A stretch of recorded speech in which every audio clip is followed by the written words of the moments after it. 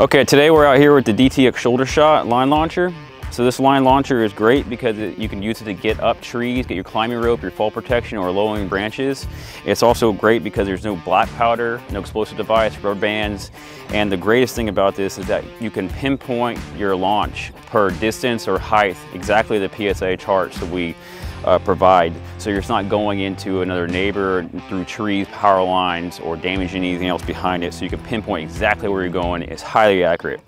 So the way it works is you have an unscrewable barrel, so you can detach it so it's only about 26 inches long max. And you have a safety here. So this handle is very key. So you put the lock in and there's no misfire.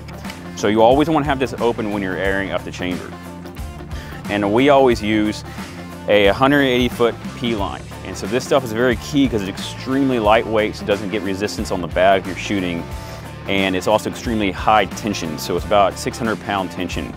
And we have a compressor. You can use any sort of air, gas compressor, anything works. A lot of people plug it in their car, compressors. And then we have, uh, typically we use a 12 ounce uh, bag, but it's all about the diameter of the bag.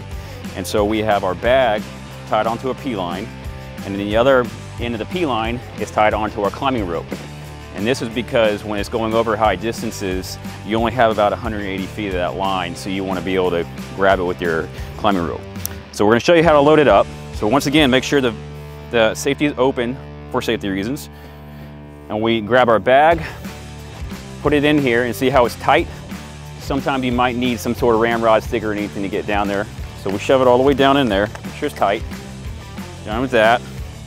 And then now we take our safety, lock it into place. So we're now safe. So now we can air the unit up.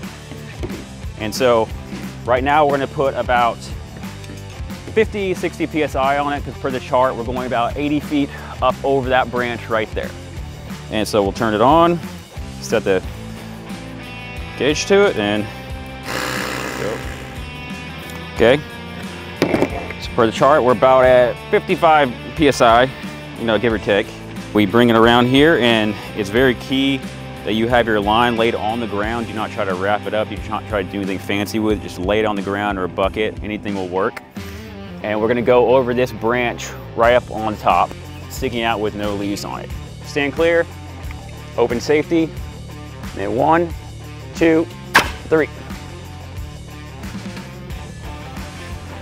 Right over our branch, and then we have our climbing rope, so you can pull it right through and you're ready to climb.